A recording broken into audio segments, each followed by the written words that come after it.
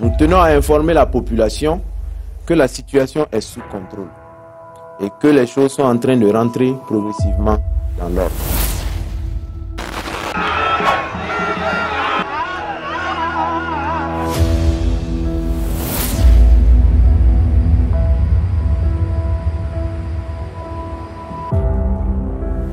C'est un honneur pour moi ce matin donc de prendre la parole ici et de vous passer donc le salut fraternel du peuple du pays des hommes intègres. Les coups d'État, on ne les fait pas parce qu'on le veut. C'est cette euh, manière de voir les choses qu'il faut changer.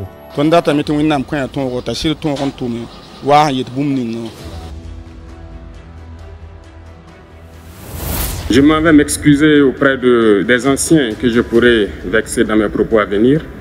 L'africanité oblige, les droits d'aînesse, je me dois de m'excuser. Camarades, j'ai quelques questions donc de ma génération, mille et une questions qu'on se pose. Mais nous n'avons pas de réponse.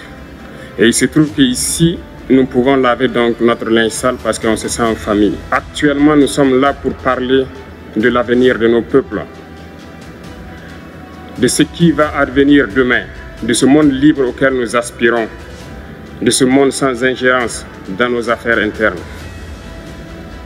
Nous avons les mêmes perspectives et je souhaite que ce sommet soit l'occasion donc de pouvoir tisser de très bonnes relations en vue d'un meilleur avenir de nos peuples. Les questions que mes générations se posent sont les suivantes, si je peux me résumer, c'est de ne pas comprendre comment l'Afrique, avec tant de richesses sur notre sol, avec une nature généreuse, de l'eau, du soleil en abondance, l'Afrique est aujourd'hui le continent le plus pauvre.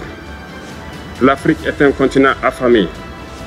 Et comment se fait-il que les chefs d'État traversent donc le monde à mendier?